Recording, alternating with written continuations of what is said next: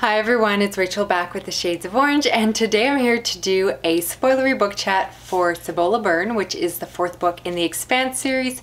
Before I get started, I want to remind you that I have spoiler chats for the first three books, so I'm going to have those linked in the cards and in the description box.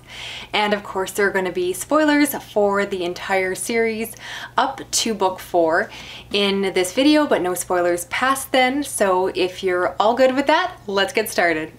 Now, as I mentioned in previous videos, this is actually a reread for me and it's interesting to go back and revisit these books because I definitely am picking up things that I missed before, or in this case, I actually got a bit of a different impression.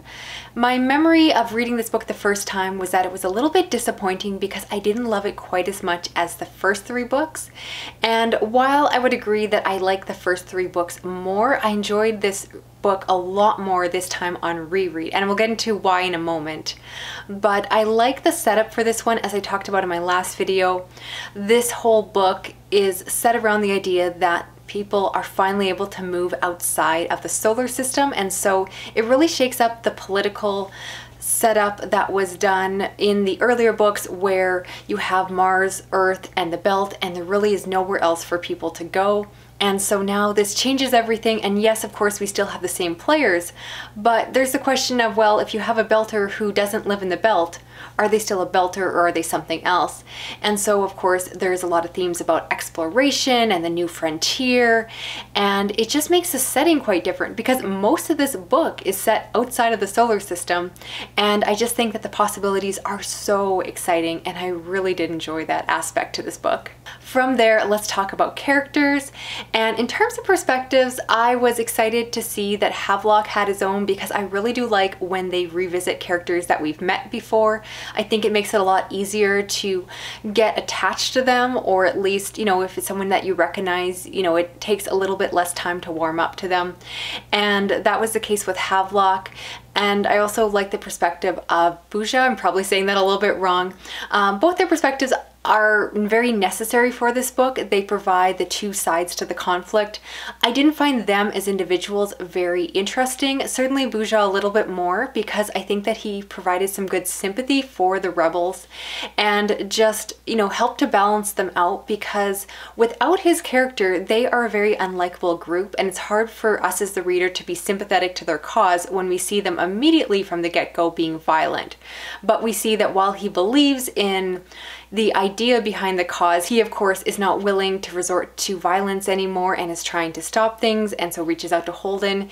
And he's just such a redeemable character. So I do think he was a really necessary perspective. From there, I need to talk about Elvi and I probably have the most to say about her. She is the reason I did not like this book on my first read through. So hear me out. I was very excited when I first came across this perspective of this highly intelligent female scientist, specifically a biologist, and I remember really liking her until Holden showed up and then she became this lovesick puppy dog. And I hated her infatuation with him. I hated the fact that she thought she was in love. And for me, it ruined her character. It made her pathetic and I just could not stand her and it just was such a letdown and because of that I couldn't see anything past that point and I really didn't appreciate her perspective in terms of the larger story. Now rereading it I got a bit of a different impression and I think that really came from paying close attention to what the authors were doing. Certainly it's not my favorite aspect but you can tell that it's meant to be very playful and you actually have her co-worker, uh, the geologist, basically pointing out that no, she's not in love with him, she doesn't know Holden, she's just horny and they end up hooking up. And I remember reading that part the first time around and it just rubbed me wrong that she was just having sex with everyone. But now I realize that they're just calling her out. They're saying that she's very sexually frustrated and she's just putting Holden on this pedestal and once she actually does get some sexual relief, she realizes that she isn't in love with Holden and it really does resolve that plot. So I enjoy this plot a lot more the second time around. Don't think it was necessary, but I can look past it at least because before I remember being so angry when they went there and just thought that they made her into this very, very stupid woman, which made me frustrated because I hate smart women that are stupid in books. But being able to look past that aspect of her character made me really appreciate her perspective in general in the book. And I would actually say that her perspective is the most interesting, even more interesting than Holden, which I'll get to in a moment. And that's the fact that her character is all centered around the exploration of this world, getting to discover the new creatures. Of course, she is tied in with the major plot with the alien technology and then trying to prevent everyone from going blind. And I really like the fact that her perspective brings in some hard science or harder science into these books, which is something I do miss.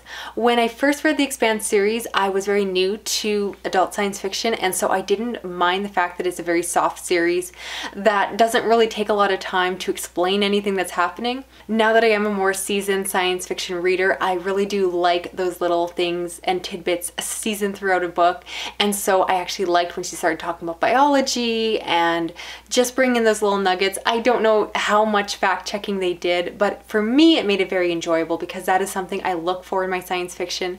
I don't always need it. It's not a criticism of a book if it doesn't have it, but I did really enjoy those parts.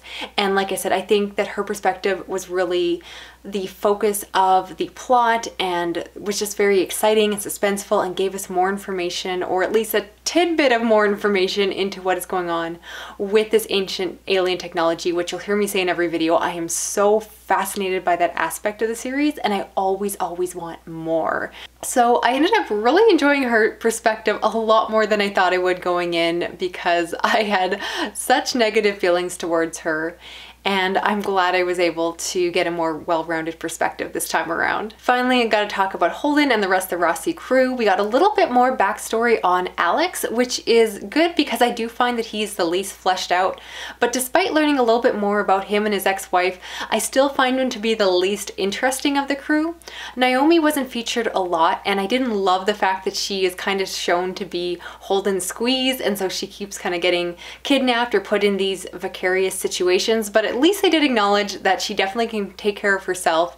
And they basically implied that trying to kidnap her or hold her hostage was a terrible idea because she is way too smart for anyone that is trying to pull that stuff on her. Of course, we also have Amos, and in this one, I really noticed there is a ton of back and forth hilarious banter between him and Holden, and I really did enjoy it. There were so many quotable lines in general in this book, and I just loved it. One of my favorites, I'm paraphrasing, but when Holden is saying there's no coffee here, he's like, this is a terrible, terrible world. And just a lot of other quotes that really stuck out to me when I was reading it. And of course, I was really happy to see Bobbie in the prologue and Avasarala in the epilogue, along with Bobbie again, because I love those two ladies, and so I'm always happy to see that they're brought back, even for a little tiny parts, I will take anything that I can get. Of course, I've got to talk about Miller again, or at least the Miller thing, and I love the back and forth as he continues to haunt Holden's mind, and you also get to find out that part of the proto-molecule, or at least some goo, is somewhere on the ship, which is causing Miller to be able to stay attached to Holden even when they travel to other solar systems, and I loved how freaked out Holden got when he realized that that was what was happening. And of course, the best part was Millerbot. I loved Millerbot. I totally forgot about it until I was rereading it. And I was also equally crushed when, of course, Millerbot did not get to stay around. I knew that was coming, but I loved those chapters so much. It was just hilarious and just a lot of fun. Now, just to wrap up a few other thoughts, I really did enjoy the fact that at the end you have Holden scraping the goo off of the ship and getting it destroyed. So it's a question of whether or not Miller will be able to continue to haunt or follow him around. And then of course we also have the fact that Holden is growing as a character. You get to find out that he let Baja go and did not decide to prosecute him through the justice system. And I think that that is a really interesting thing that is showing some really good character progression in terms of Holden because he has always been such an idealist and really sees everything in black and white. And so the fact is that he is starting to see things a little bit more like Miller. He's not going crazy, but at the same time, he realizes that things are more nuanced and by following the letter of the law, is he really getting justice done or is he just breaking up a family unnecessarily? So I really do like to see these later books as Holden matures and just how far he comes from where the story began. And I really thought that that was well done and very believable is probably the best part. And then of course we have that epilogue with Avasarala and Bobbie as I mentioned.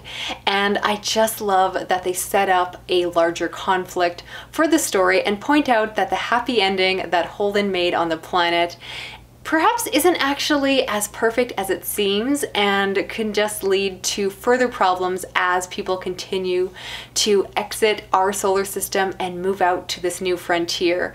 And so once again, I think the authors do an amazing job of making you want to keep reading because you get to see that things are going to become more complicated and they just make the politics so nuanced.